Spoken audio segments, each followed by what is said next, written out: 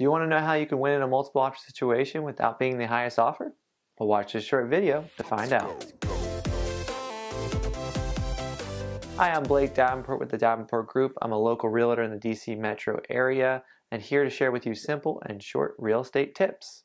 Today we're going to be talking about the power of the personal letter. When I mean personal letter, I'm meaning a letter from the buyer to the seller. Um, I always do this in, or have my clients do this in multiple offer situations uh, because it's not just all about sales price. In the DC metro area, it's very competitive here, so most places have a, a couple offers on them. So we're looking for every little competitive advantage to make our buyers stand out versus other buyers. And one way that we've have had success doing that is our personal letter. So we have the uh, buyers write a personal letter to the sellers, basically explaining who they are, how they felt about the home, and why they want to live there. Uh, when we are going and are touring through the home, we're looking for items where we can connect with the seller. Maybe they have they went to the same college, or uh, they have outdoors pictures or this or that from national parks, and maybe you like that stuff. Or say if you're buying my house, I went to Penn State, and maybe you went to Penn State, so I would probably include that in the letter. Or maybe you're military, hitting on those aspects, you're forming some kind of a connection because buying a home or owning a home is an emotional decision. Uh, you know, you are invested in that. It's a big financial decision, but it's, it's also an emotional connection that people have with the home. So the longer that they are there, the more they're going to care about that property. So they're going to care about who takes it over next because they see it as their own.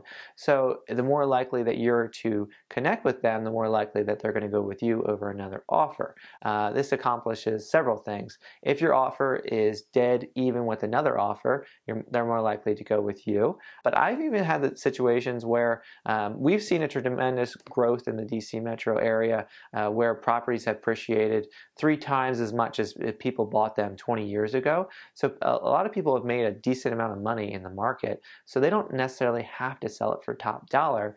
So uh, some people sell it for maybe five or ten thousand dollars less than a, than a competing offer, just because they care about the home and they want the home to go to somebody who's going to take care of the home and be a good neighbor uh, to their neighbors. So every time that we're in a multiple offer situation, we have our clients do this. Uh, you know, say, dear, you know, Billy and Susie, you know, we're the Davenports and we're looking to buy your home. We could imagine our kids uh, growing up and, and playing in the backyard with the dog running around. We love the updates that you've made, so and so. Um, you know, I work at the Pentagon. Uh, she's a school teacher. Um, you know, we could just see this as the perfect commute or, or perfect location commuting uh, to our jobs and et cetera, et cetera. And you share a little picture. Um, that really hits home and it really connects with a lot of people. Just in our experience, we've, as I was saying before, it's been the difference for us between uh, five and fifteen thousand dollars over a competing offer, uh, just because they liked our letter better. So I'm not going to say it's going to help every single time, but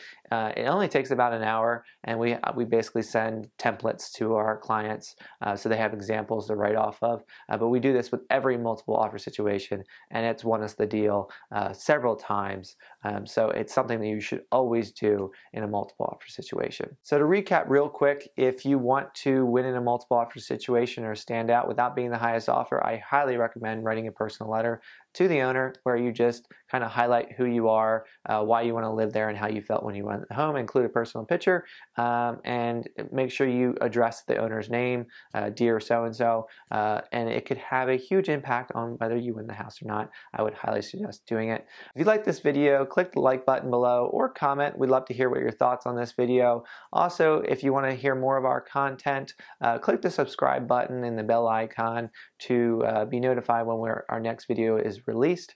Also, if you want to learn more about this topic, we have a link below to our blog post where we work more about this. But thanks for checking out this week's real estate tip. Bye bye.